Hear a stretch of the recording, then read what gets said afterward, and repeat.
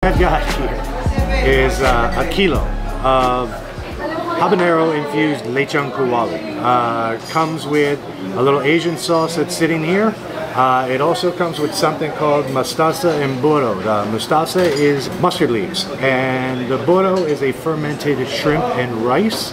And apparently, you're. They told me that I'm supposed to make a little wrap out of it, so that's what I'm going to try and do. First, let's just try the lechon kawali.